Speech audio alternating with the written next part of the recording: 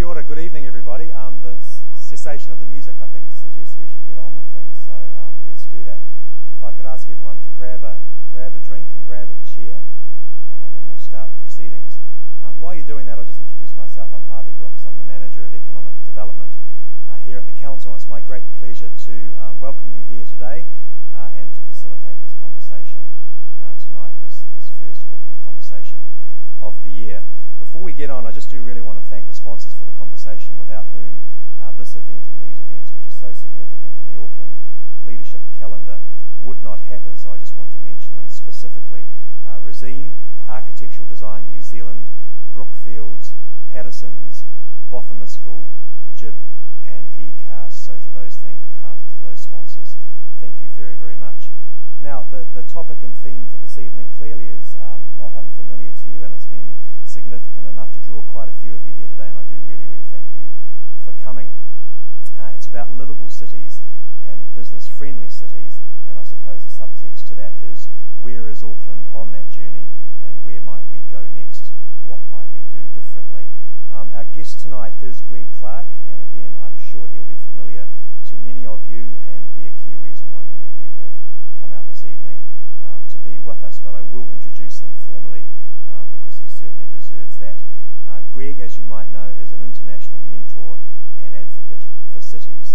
He works with public and private leadership in global cities, global firms, global organisations, and at global events. He is an expert reviewer on cities for, internet, for intergovernmental organisations and has led reviews on over 100 cities globally. And after these three, three days, Greg, I guess it's 101, isn't it? Um, he regularly chairs summits development issues and acts as a mentor and a moderator for leadership and strategy forums and boards. Greg, uh, we invited Greg for three days to come down and uh, work with us here in Auckland around economic development uh, and to challenge us and to support us and to encourage us uh, to think carefully about where to next in terms of Auckland's economic journey. As you probably know, uh, we've got the Auckland Plan and the Economic Development Strategy, and they set the roadmap forward uh, for our transformation to becoming not only the world's most livable city, but a prosperous city as well. A challenge for us all, I suspect, in any form of public policy or endeavour uh, is to focus on the few things that make the greatest difference and not to get distracted by the many things that might not. And so it is in economic development as well. So one of Greg's uh, roles in, in coming down here this week is to help us uh, to uncover the most significant things that we can all work on together to get us towards those big economic goals uh, quicker and more directly than we might otherwise. Um, Greg one of those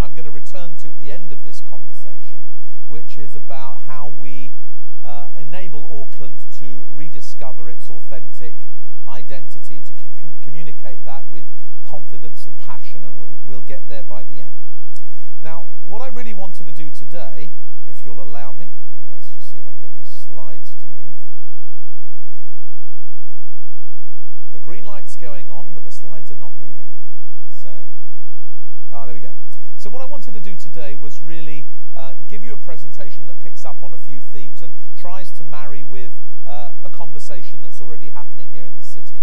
So I want to talk quite a bit at the beginning about the changed global context. And I'm taking as my reference point the end of the global financial crisis and, in a sense, the connection between that and the evolution and emergence of the century for cities that we're living in.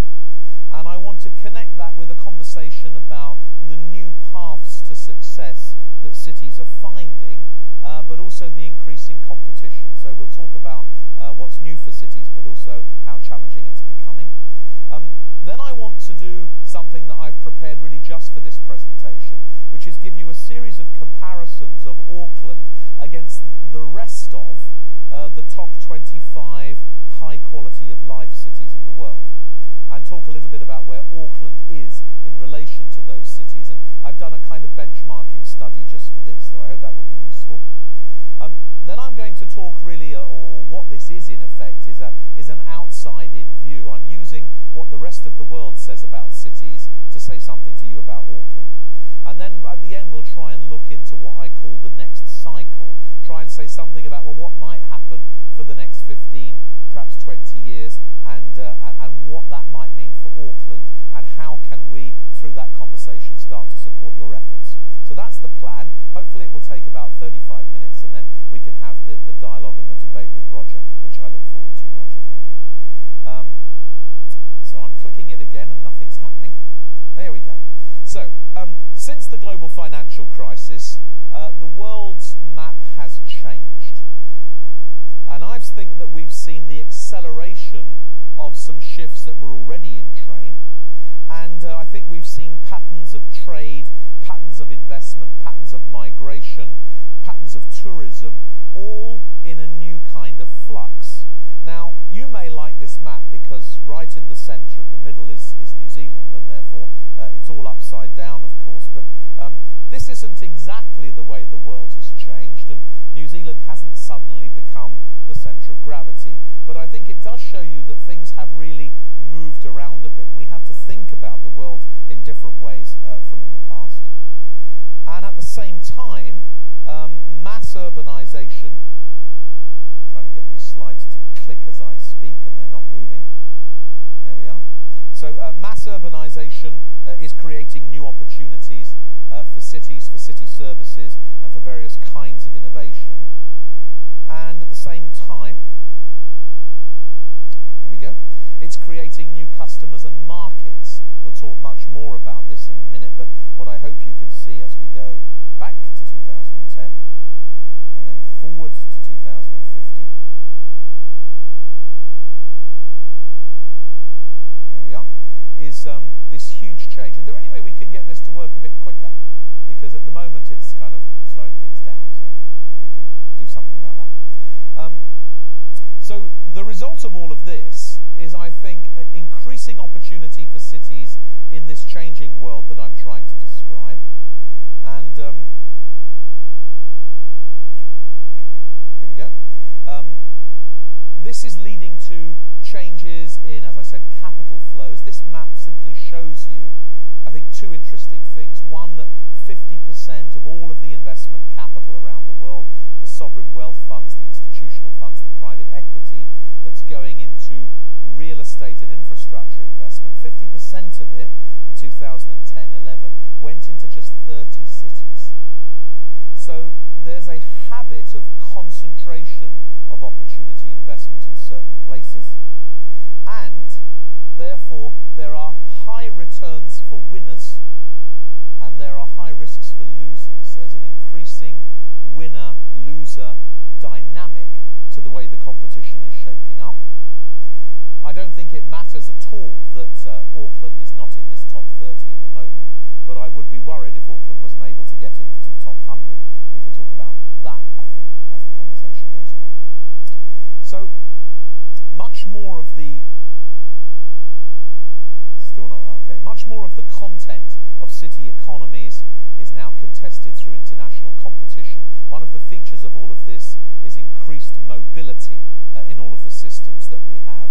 And the result of this for most cities is that there are new opportunities to, to win uh, uh, uh resources, to, to win students, visitors, universities, to win events, to, to win in the competition for innovators and others. But of course, there's, there's much more to play for and there's much more as a result to lose. Thank you very much, Harvey. See if this one will work a bit better. Should I point this in a certain place? So it's a bit embarrassing because slides are supposed to be clicking through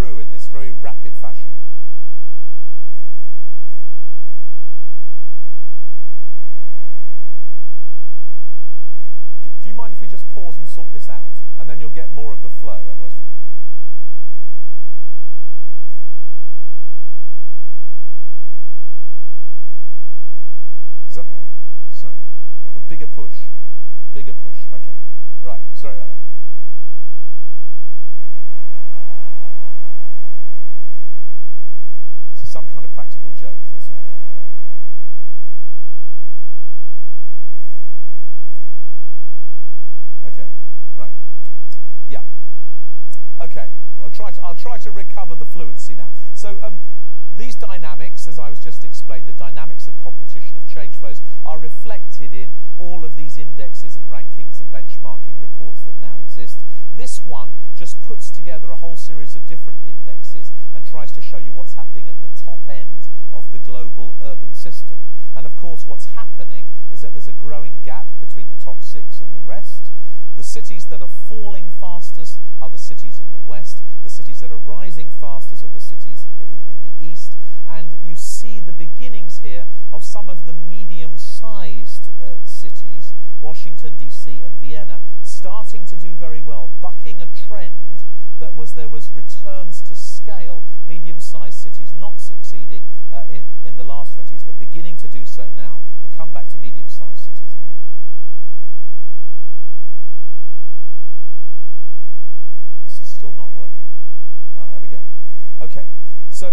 There's also a set of other cities that are rapidly emerging. These are the, the leading cities uh, in the emerging markets, the fast-growing markets, and you can see in orange here the rapid emergence of uh, the Shanghais, uh, the Beijings, the Sao Paulos, and others. A new paradigm, again, in terms of the, the world's urban system. Some very distinctive features of these cities, but the one I would point you to immediately is that all of these cities enjoy an unparalleled level of support from their national governments in comparison to cities in the most mature and established markets. In other words, national governments in the emerging world have realized that cities are their assets in the global competition in a way that national governments in the established world have found it very hard to embrace. Very interesting phenomenon.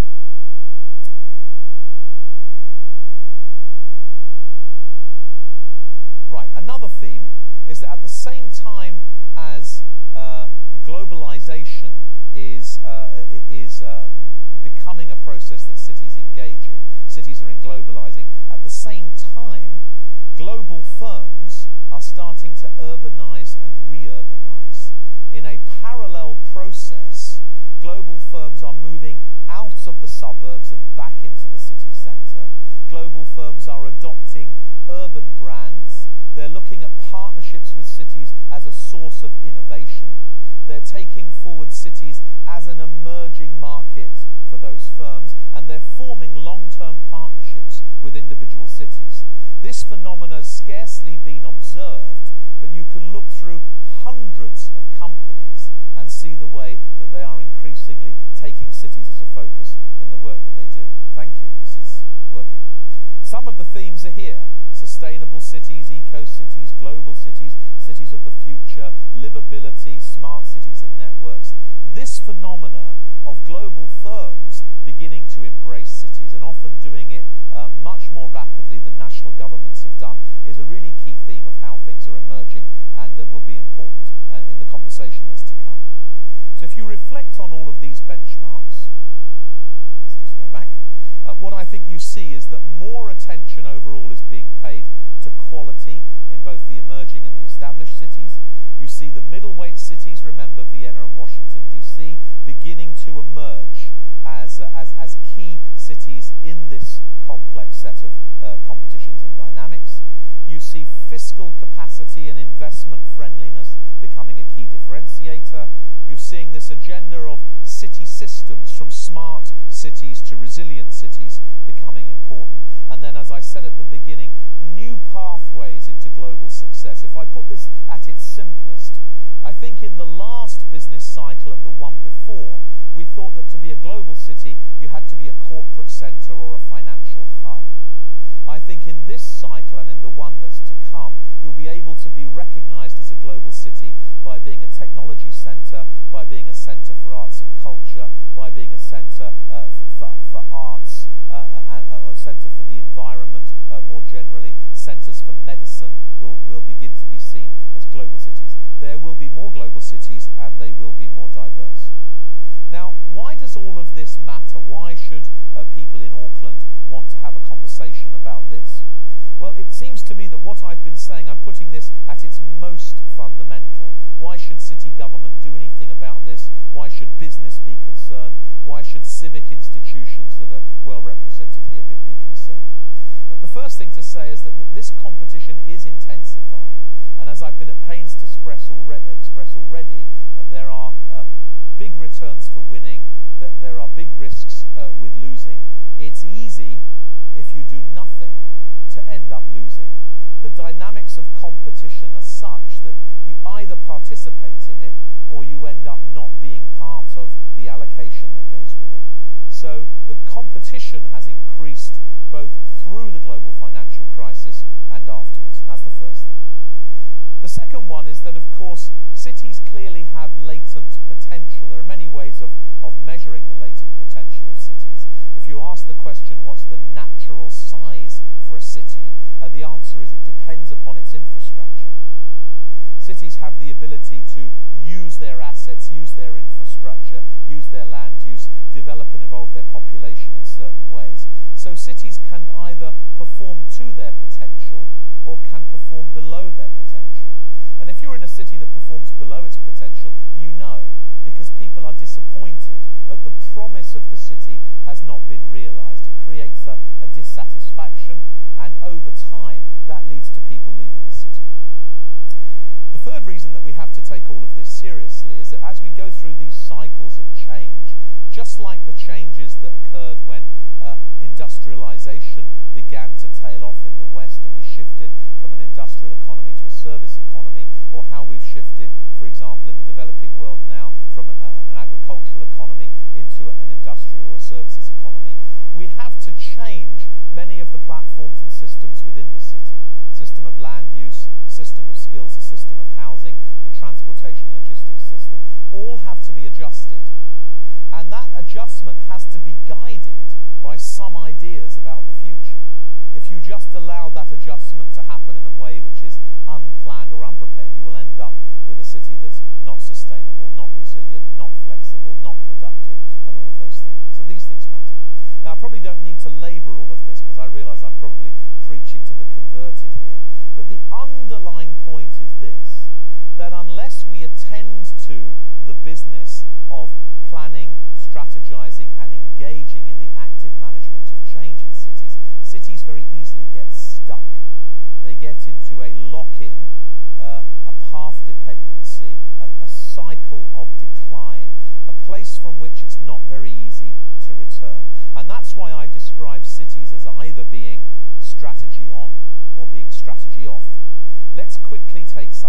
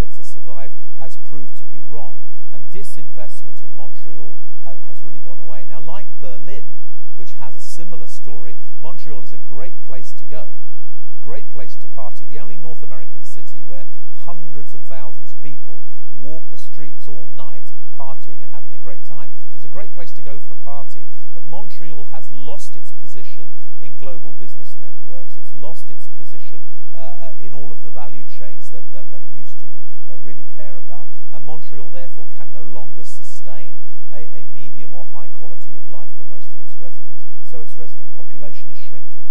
Contrast that with Oslo, a city that, like Auckland, finds itself as the big city in a small nation right at the edge of the world, in their case, right at the north end of the world.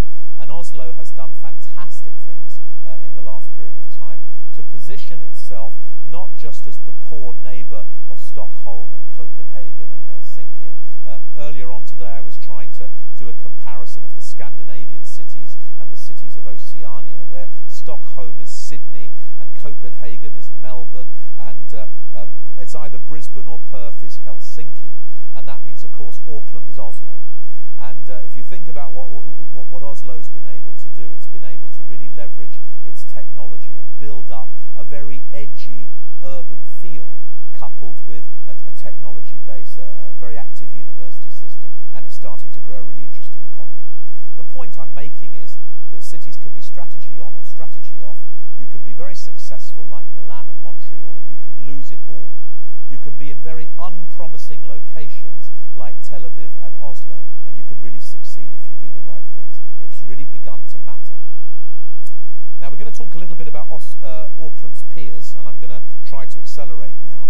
As I said at the beginning, I've selected 25 cities across 10 different city benchmark reports, all of which, in some way or another, are cities that, that, that propose to have high quality of life. These are the cities, these are the locations. You can see that Auckland's there. It's an interesting set of cities. The, this benchmark study hasn't been published because I'm just drawing upon secondary data, but I, I will share all of the data with you if it's interesting to you. Who are Auckland's peers and why? I mean, I think that these are what I would call competitive middleweight cities where livability and quality of life is the key differentiator. In, when I say competitive middleweight, I mean they're not the heavyweight cities like London and New York and Shanghai and Tokyo. They're middleweights in the boxing sort of metaphor, but they're capable of being world class. Yeah? And so it's these cities, 1 to 5 million in population, highly livable, with diverse economies and attractive to entrepreneurs and SMEs because entry costs are relatively low, quality of life is great, and there, are, there is access to some big and important customers. Amongst these 25 cities, when we look at Auckland, we can say Auckland's economic structure most resembles Frankfurt, Stockholm, and Toronto. Those are, those are cities which are headquarters. Its degree of global business linkage, 72nd globally, is most similar to Tel Aviv, Cape Town, Vancouver, and Oslo. And its economic performance in terms of income and employment in the recession, or since the recession, is closest to Toronto, Amsterdam, and Calgary. And, and so, therefore, it enables us to position it a little bit more. What unites these high quality of life cities is all of these ingredients the comfortable commute, the scenic high quality of amenities, walkable and inclusive communities, multiple sectors of employment, livability as a key differentiator, competing on specialization and quality. I think, personally, this is a more meaningful set of benchmark cities for Auckland than the London, Paris, New York, Hong Kong uh, comparison. And we come back again to that. Now, many of these cities are also trying to be business-friendly cities. Study looking at a small subset of these cities and their business friendliness. So, what is a business-friendly city? We know a little bit about livable cities, but it's one that develops a positive and differentiated approach to attract and retain firms, seeks to improve upon the national framework, which of course has to be good. It has a credible process for external investment, and it's a city that develops a, you know, a pipeline of bankable propositions that can be taken forward. And you'll see in a minute when we compare Auckland with some of these cities on these kind of benchmarks, that these have become uh, important ingredients in winning some of these competitions I was talking about. When we look at Auckland in relation to the others, we can say that Auckland is the smallest economy of the 25 cities, but it's the 17th most globalized, so that's interesting. It's more globalization here in Auckland than, say, in Cape Town.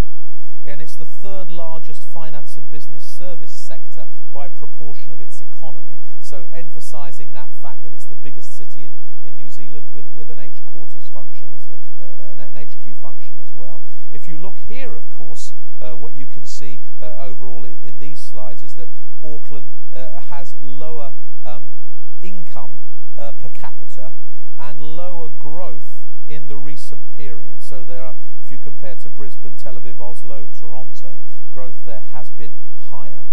Um, and if we go to um, we go to some of the, the studies that have been undertaken, you look at this one, what you'll see is that Auckland has had lower income growth, but higher employment growth than many of them. So that's been important in terms of Auckland being able to sustain the employment base. You can see Auckland's size in comparison there. So second highest employment growth uh, after Brisbane, but much lower income growth after Brisbane, Boston, Amsterdam, Oslo, Barcelona, Lyon, Zurich, Manchester. Now, how are these middleweight cities adapting and innovating? All of them are developing longer term strategies. And those strategies are about a new growth profile, moving away from consumption uh, base and more, move towards a, a more balanced and diversified economy. Substantive support for SMEs and entrepreneurs is a key feature. Strengthened employment sectors through, through cluster consolidation.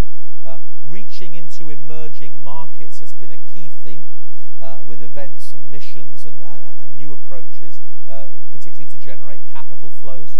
We've talked earlier a lot, I've been talking about how Manchester's been incredibly successful in generating investment capital from Middle East into its infrastructure and its urban development process, and competing for investment in technology and, and real estate. These are kind of key parts of what these cities have been up to. They've been working a lot on new investment approaches, both on the public sector side and on the private sector side, building a new toolbox of investment mechanisms. That's been really key since the crisis as the more traditional uh, forms of finance, transfer payments, structured debt uh, have not been and they've been developing uh, new leadership and new governance techniques, particularly consolidating their economic leadership, which we've seen happen in many of them, building a, a business and investor friendly climate, uh, developing joint boards of various kinds, much more scientific approach to their own development as a set of cities, and then a whole series of other things, including improved relationships with higher tiers of government. This group of seriously and building a new framework for how they plan, lead, manage, organize, and relate to others. And the global financial crisis has been the catalyst, in a sense, for making that happen. They've also begun to develop very clear agendas for what they want from national government and what they want from the private sector. So to summarize, as I say, many of these cities, these middleweights, have seen the global financial crisis as a, as a spur to change. And these middleweight cities, because they're more agile and nimble than the big cities, have been developing uh, all of these new tools and arrangements in ways which I think has been quite dramatic and exciting. Now, one of the things we can observe from all of this, and I'll try to say all of this very quickly, is that these cities have entered a kind of new cycle where these processes of change and reform and new strategy that I've just described are kind of in indicators of moving from one cycle to another. So the previous cycle was often about consumption and the next one is about production. The previous one was often about certain kinds of finance, transfer payments and, uh, and structured debt. The new one is very much about equity, it's about tax increments, it's about value capture. The old cycle was very much uh, about focusing on building tourism, uh, visitor economy, building that destination brand. The new one is about being business friendly, having a business proposition, etc. This change from one cycle to another implies a change in, in planning, a change in organizing, and a change in the, uh, the power of different kinds of leaders. It emphasizes soft leadership, it emphasizes networked and distributed leadership, and it emphasizes influence over authority and those sorts of things. And that's a quick summary of the next few slides, so we'll, we can now jump through them and, and get going. If I can get this to move.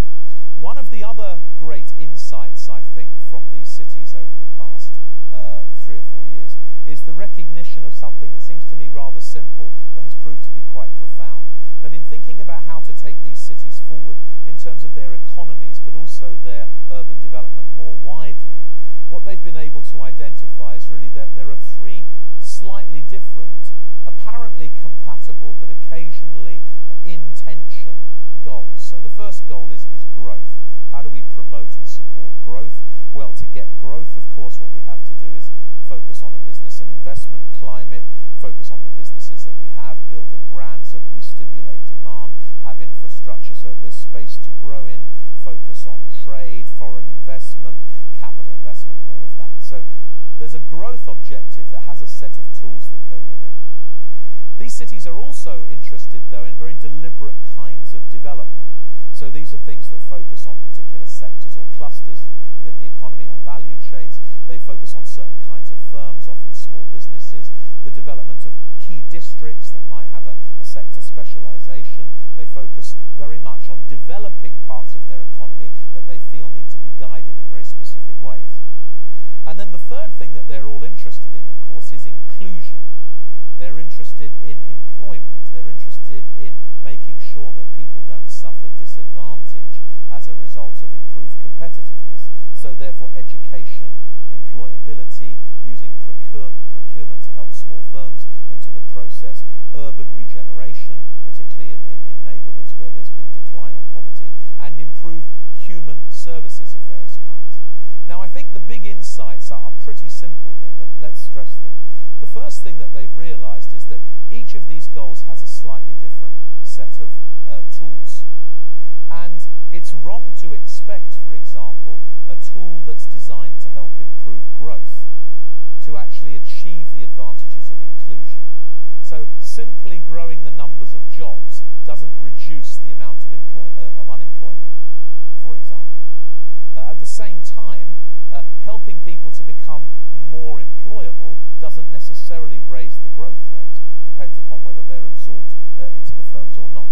So what this has done, I think, is to change the way these cities think about their development strategies so that they realize if we're going for competition, we're probably going to have to, for example, attract uh, international labor. The more we do that, the more we're at risk of excluding certain people from our labor market because of increased competition. So the more we need to focus on our tools of inclusion. I say this sounds very simple, but once you realize the implications of it, it means that development strategies have started to become much more sophisticated and important. Some of the cycles these cities have been through are here for you. We won't talk about all of them, but look at Barcelona. The first part of its cycle was really to develop a, a visitor brand, to build tourism, and therefore to get people to know and love Barcelona, the new Barcelona. That led to a kind of buzz and a feel in the city that enabled them to really stoke up creativity and enterprise. And that led to a kind of talent attraction. And then that's enabled them to shift into exports, technology, international students, medical, bioscience, etc. So there's a kind of a path or a cycle here that begins with tourism and ends up with biotechnology. See these, these other stories of these other cities beginning to emerge there as well. Now let's get on to what I think is probably the key issue, which is talk about how Auckland is doing, because I want to, on, on the basis of that, then make some quick observations. So you know very well, because almost everybody I meet from Auckland tells me that Auckland is a real leader for resident livability. And look here at all of this data, it's true. Right? Auckland is, you know, whether you, whichever study you Auckland is in one way or another the third or the fourth most livable city in the world according to these various benchmarks and index studies. And there's Vancouver and Vienna ahead of it in this sort of composited index, and Munich's not far behind, and there's Zurich right near it. So that's great. It's consistently in the top five of Mercer's Quality of Living Survey. Outstanding natural environment is there, rated by the UN. Highly effective governance institutions. The creation of what you call the super city uh, has, has aided this sense of Auckland's livability. So this is great. And pursuing the objective of being the world's most livable city seems to me a really good idea. And developing a plan to do that uh, is is, is really uh, a very good idea. But the problem, I think, is this, that the other cities that are also trying to become the world's most livable cities are also competing with Auckland in all sorts of other ways and addressing livability as a means to achieve other things. So have a look at this data. This is about commercialization of knowledge. You could call this innovation, you could call this high value services, you could call it uh, uh, companies that, that are trading in high value markets. In this area, um, Auckland has a problem. There's no real commercialization of knowledge story about Auckland that the world recognizes. There isn't actually, in a certain way, a kind of business story. So when you start to look um, at the overall uh, world rankings here, you see that there's a sense of a high risk of companies in Auckland leaving and talent from Auckland leaving. So there isn't enough of a story about why you should stay in terms of opportunity, in terms of jobs, uh, in terms of uh, business clustering. Great livability, but that's not going to be enough on its own, uh, at least in comparison to these other highly livable cities. Here's where we look at Auckland in relation to global networks and flows. The graph on the top right is about passengers through airports. The, the, the, the graph on the bottom left is about international uh, events and, and, and meetings. And much of these scores, which are relatively low in comparison to the other high quality of life cities, of course are explainable by geographic location. But it underpins, I think, the need to consistently work hard at this. In other words, the livability advantage that Auckland will get from becoming the world's most livable city will only be fully if you manage to increase its connectivity uh, at the same time. Global appeal and brand, this is a very interesting uh, set of slides because what it looks at is perceptions of different cities in different markets. So to put this very simply, um, this has asked people in, in Turkey, Argentina, India, China, South Africa, the UK and the US what they think of certain cities. And uh, this is this Simon uh, Anholt study. And what it says is that Auckland has a strong brand and identification in Australia, India and South Africa. But in comparison to Vienna, Boston, Melbourne, Stockholm, Vancouver, Copenhagen and Helsinki, Auckland's overall level of exposure is low. And of course, in, uh, in the other countries, in Turkey, in Argentina, uh, in China, uh, even in the, uh, the UK and the US, brand reputation is very, very low. So a lot of work to do in terms of positioning Auckland and getting people familiar with it, as I was saying at the beginning. And then overall, uh, this thing of you know this this perception of, of, of Auckland as being a place of quality but not one of buzz. You might argue that Auckland's style of livability at the moment is all about what we might call hygiene or, or purity or cleanliness. It's that kind of livability. It's not the kind of livability that produces buzz and excitement and enthusiasm and, and all of that. So you and I all know that Auckland's a very exciting place, right? But the world doesn't yet know that. So somehow we've got to convince the world, and that's got to become more visible. So this, this is the question about what is livability? Livability for whom? Is it livability for retirees or livability only for people who like the outdoors life? Or is it livability for the urbanists or the urbanites that you need uh, in all of those sectors that you want to develop and grow? And if you ask the question about business more generally, this is the Ipsos Survey. Auckland's one of the, uh, the livable cities, but it's least likely to be viewed as a place to do business. In other words, Auckland's livability at the moment is working very strongly on the tourism and the destination side. Come and visit Auckland. That message is clear, but come and do business in Auckland uh, is not very clear at all. And you can see down at the bottom, seventh best labour environment in Asia Pacific, fourth best FDI strategy in the region, but still these perceptions that Auckland isn't the place to come and do business. As you know, there's an improving story here in infrastructure, but the problem is there's a big lag with infrastructure between people understanding what you've got and you actually delivering it. So somehow you have to really communicate that. It takes a long time, but at the moment, uh, Auckland is seen as, a, as a, with an infrastructure platform with lots of room for improvement. So if you put together all of these benchmarks, you can see something like this is kind of a scorecard for Auckland based on these studies. You will know, by the way, that these studies vary in their quality and in the data that they use. And I think you have to use these to give yourselves an overall perception. This isn't a scientific uh, measure. Um, but what I like to is try to put together different benchmarks in the same thing. So if you took infrastructure as a theme, you'd see that Auckland comes 8 out of 25 in these high quality of life cities. If you took innovation and talent, you'd see it would come around 10 out of 25. If you took global and image and brand, it would come about 8 out of 25. Uh, those are not bad scores, but that means that there's a way to go to achieve some of the objectives that you've already uh, set out for the city overall. So um, here's some remarks about what the world thinks about Auckland. I don't know whether you've read all of these, but uh, you know, I like these. Discover the San Francisco steep streets and regenerated neighborhoods of newly vibrant Auckland.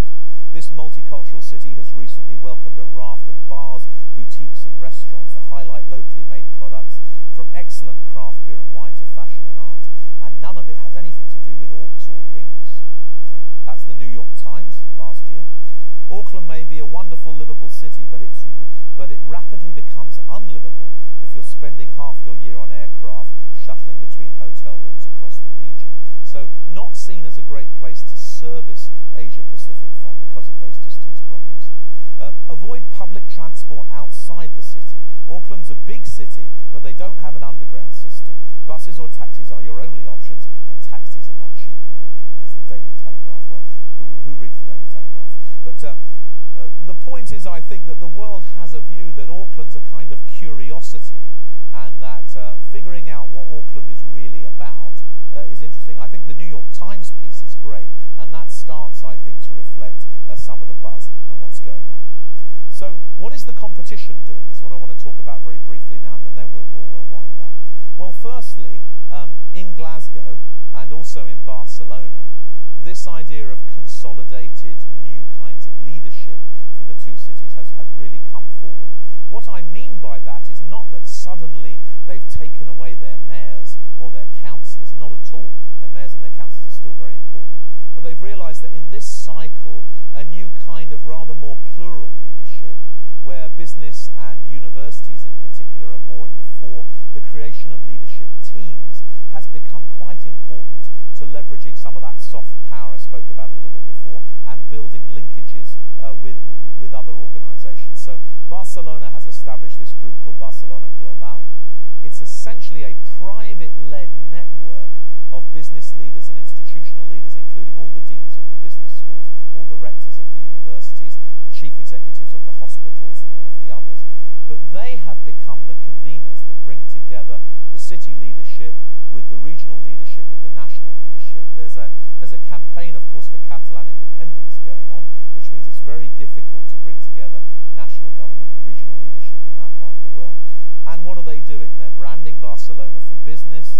They're creating an international council that works to influence uh, how the world sees Barcelona and what comes to Barcelona. And they're focusing a lot on improving the school systems and getting business to interact with them much more. So that's leadership. Um, Oslo is doing a great job in becoming a business-friendly city. I've got a new strategy around that, trying to make uh, uh, uh, much lower risk reputation uh, for corporations and trying to work very much on solving business problems in the city with a, a major government investment in infrastructure going on and new organisations being created, particularly this Oslo business region down at the bottom, which is a kind of integrated business and government organisation focusing on the brand and the economy. We look at Vienna. Vienna is the well-functioning city, the city that wins all the awards for being the best run city in the world. And being the best run city in the world with this very attractive lifestyle has also enabled it to become a city where um, uh, supporting migrants and refugees and building a cosmopolitan flavour uh, to a city that had one, of course, before the Second World War, but was decimated by that experience, has been very important. And the quality of life offering, combined with this increasing uh, cosmopolitanism and multiculturalism, uh, has been great for Vienna and has, has really enabled them to become the world's top destination for events and conferences, which is what they are now. I've already told you the story of, of Tel Aviv and the, the innovation hub and uh, all of the young people coming out of the Israeli army with all of these technical skills, and they've managed to build an investment system, a system that's open to talent, open to diversity, a system that's been very successful there in, in a very, uh, as I say, unattractive environment. Um, cities that have been very good at building export markets, connecting with the new geography of trade and investment. Seattle has been fantastic at that. The uh, Trade Development Alliance for Greater Seattle has been the mechanism through which they've done that. Building uh, relationships uh, originally uh, in, in Japan and Korea and now all over Asia and, uh, and leveraging off their, their, their balance sheet, of course, of major firms like Microsoft, uh, Amazon and Boeing. Toronto, I think, has managed to position itself uh, in, the, in the arena of uh, diversity uh, and immigration as a city where diversity is its great strength and has understood that connection between openness, diversity, creativity, entrepreneurship and innovation and has managed to make that circle work very well and has really focused on, on, a, on an economy that is able to serve new global markets because it has the human capital that is able to, uh, that means that, that you can locate a firm in Toronto and serve any market from there in terms of multilingual population, etc. Now, of course, it's not lost on me that Auckland has many of these attributes as well, which is why I'm picking these. Manchester has done a great job in persuading the national government to devolve funding to it so that it can really take control of its skills and education system and make that work uh, as a system in the city, which will uh, enable it to focus on tackling its, it, its emerging uh, unemployment problem.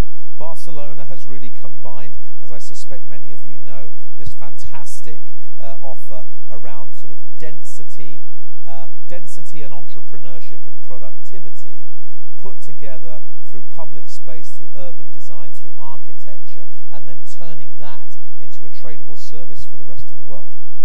So that's what some of the competition has been doing. These are the new strategies that have emerged since the global financial crisis. Uh, how should Auckland respond? I've sort of got five ideas that I wanted to just uh, put to you, and th then I'll sit down and we'll be able to continue the conversation.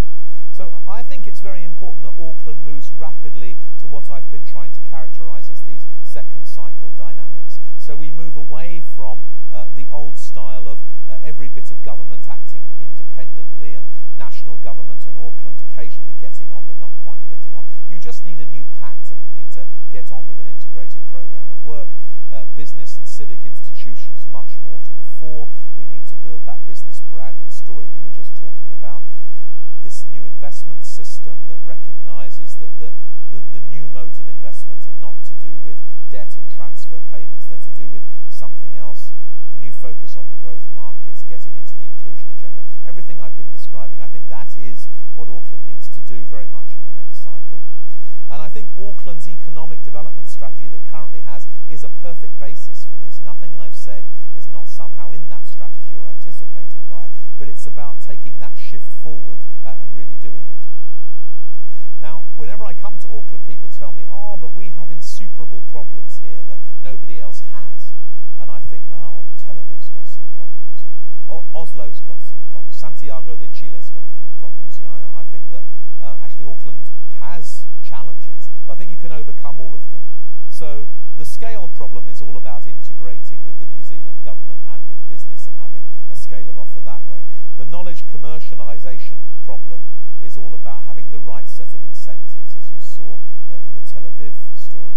The identity, reputation and buzz challenge is all about making what you do have much more visible and really going for that uh, more dense city centre that we've talked about.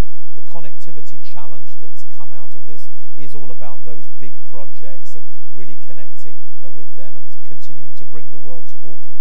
The investment rate challenge is all about uh, the, this new toolbox. So all of the challenges that are there, there are now solutions in place for these challenges invented in other medium-sized, high quality of life cities that you can borrow from. And there are also these competitors, or maybe they're partners. Um, when I just before I came here, I was in Oslo talking to them, and they, you know, the people in Oslo uh, want to meet the people of Auckland. They want to talk to them. I was able to do a chance introduction for Michael Barnett when he was last in London uh, with the person who's in charge of the Oslo business region, and actually there could be a very good relationship there. I think so. Um, it's a long way away, but it's developing some real edge on the edge. Um, Tel Aviv is up for relationships, and uh, I think has has much to share with you. Um, how do you build buzz in a civilized city? Well, Melbourne knows something about that, as, as you know. Um, Barcelona fostering leadership beyond borders, Seattle finding new markets. All of these cities are interested in relationships with cities like Auckland, and they're in a different space from the Londons and the New Yorks and the Hong Kongs and the Tokyos that get very busy on other things.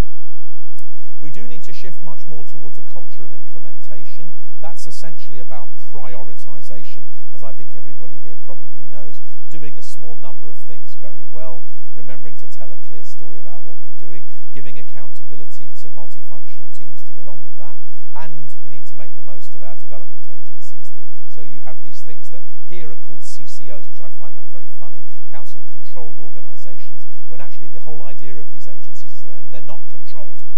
you actually give them the freedom to go and do the things they need to do. So that's quite funny. But um, you do need to make the most of the use of, of these agencies, particularly ATEED in this space. So um, this is the last slide. Now, what I really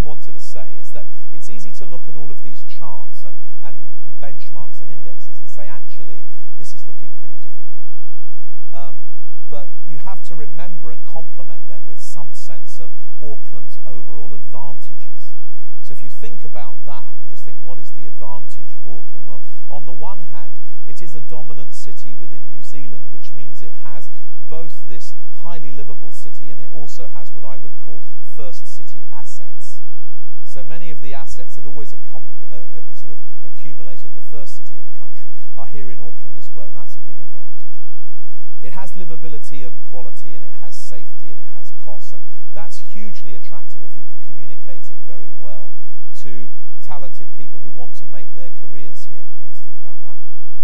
Uh, it has professional services and it has high quality entrepreneurs, and the two things feed off each other.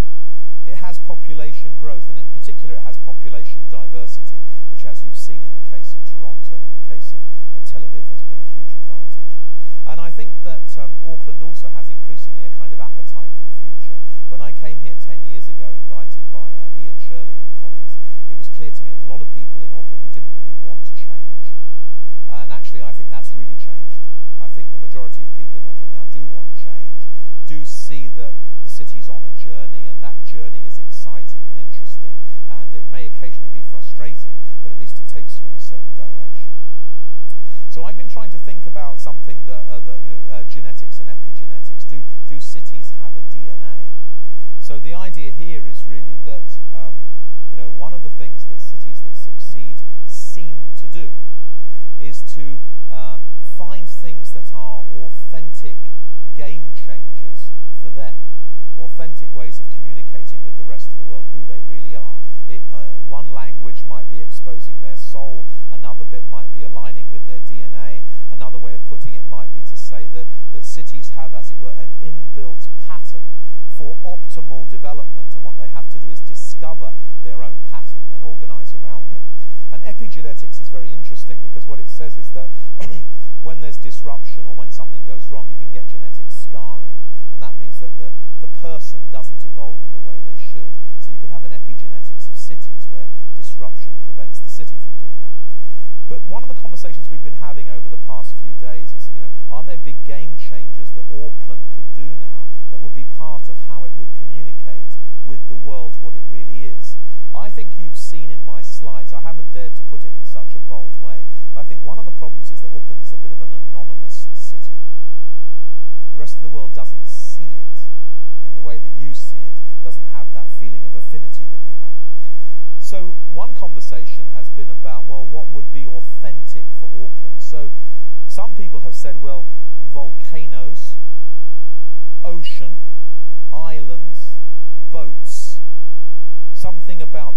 diversity that comes from that waterborne connectivity, that relationship with the water that's been so important, that establishing of Auckland in its regional relationship. And that made me think about Barcelona and Stockholm because both of those cities have really positioned themselves in their regions. Um, Stockholm decided to call itself the capital of Scandinavia. Now, any of you who know Scandinavia know that Scandinavia state. You can't be the capital of Scandinavia. It's kind of logical nonsense. But actually, it works very well to be the capital of Scandinavia. So Barcelona has gone one better, and because it now hosts the Secretariat of the Mediterranean Union, it's now the capital of the Mediterranean. So it seems to me that actually the, these devices, which are, are humorous in a certain way, are actually really useful because actually Barcelona is the capital of the Mediterranean.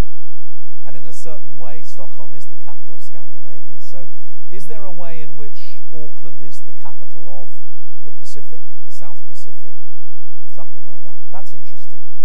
A second idea is this idea that I've been talking about, about openness, diversity, creativity. Auckland is, I suspect, the most diverse city in the southern hemisphere of the world, without doubt.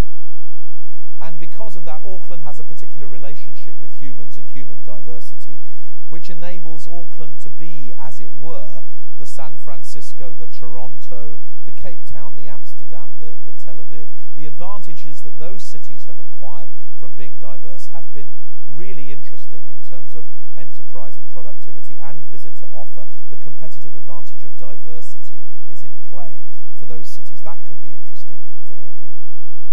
The third thing I thought about was this nexus between sort of sport and food. You know, this is a great sporting city, this is a great food city, but there's something in there about nutrition and health and medical science and nutritional science and understanding the digestive system of the high performing body. There's something about Auckland's ability, I think, to combine things like that that could be very interesting. And then most important, the thing that really strikes me is the obviously the, the, the Maori and the relationship of Auckland with its indigenous population. This is perhaps the most distinctive and authentic thing about the city.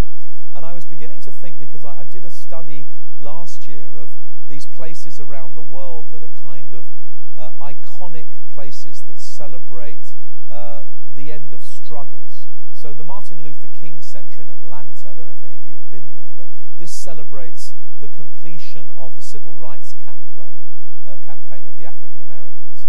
And uh, Constitution Hill in Johannesburg is the place where, uh, uh, in, in, in the prison where so many of the, uh, the ANC leaders were imprisoned, they created the, the new Constitutional Court of South Africa. There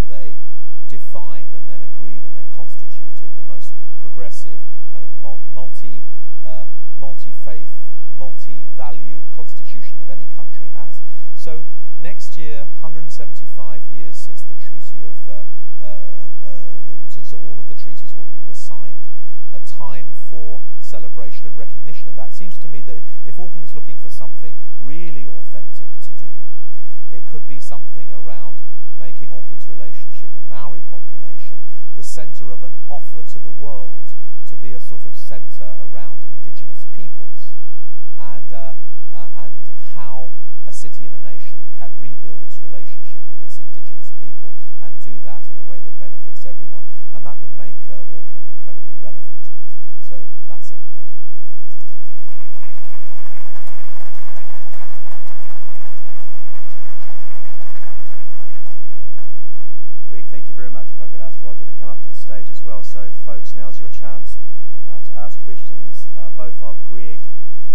Roger. I think there's going to be a couple of mic, uh, roving microphones, if that's right. Susan, thank you very much. So you'll see them. Put your hand up uh, if you do want to ask a question. If you could, when you get the microphone,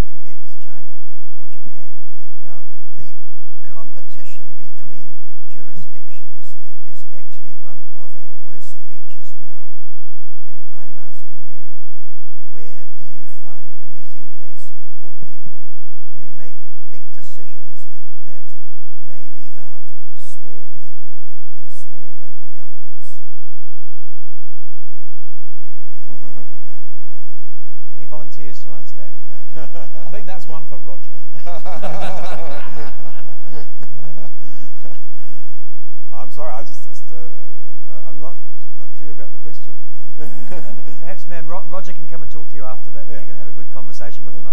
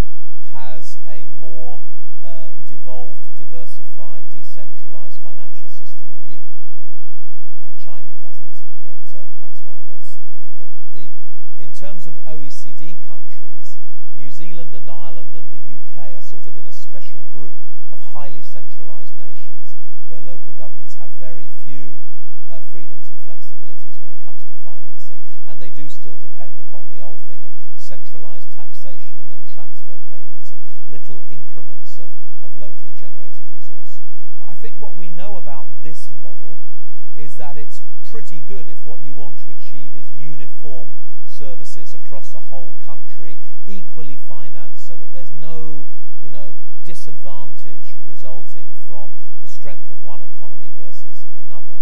Uh, the problem is we, we, we live in a world which doesn't have uniform places, and every place needs different kinds of solutions, and the, the centralized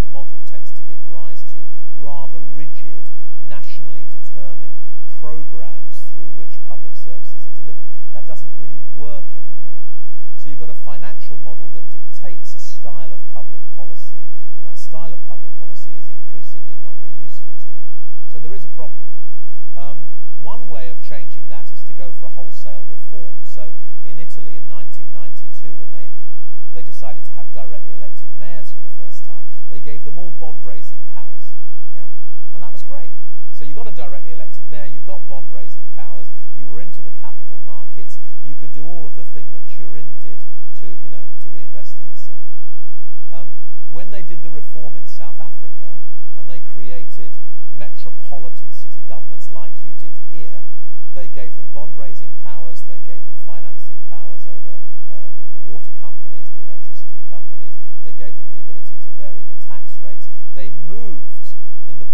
moment from the old treasury, centralised treasury model to a kind of a balanced decentralised model. Um, New Zealand and Ireland and the UK have not pursued those reforms.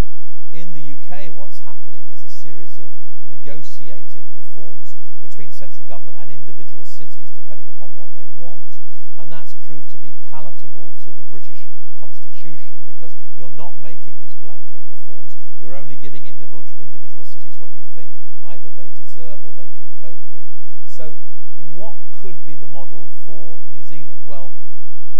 has already happened in that Auckland is already different. Auckland has a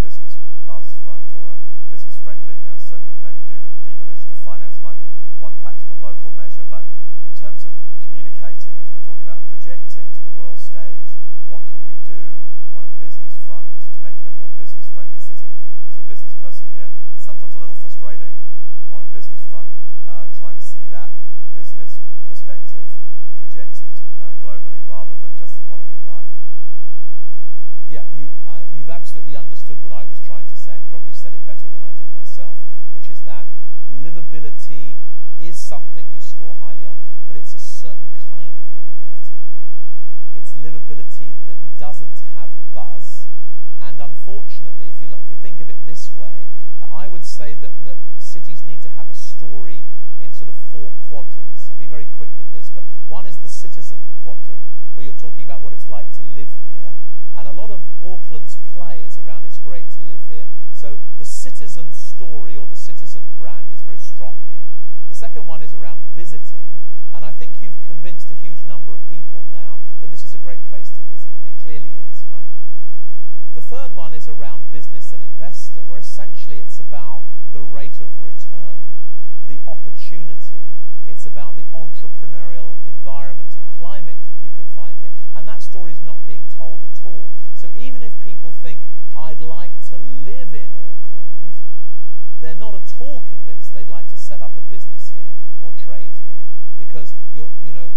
So, that, that bit has to complete the story. Otherwise, the livability advantage doesn't come into play because you haven't reached square one. The fourth quadrant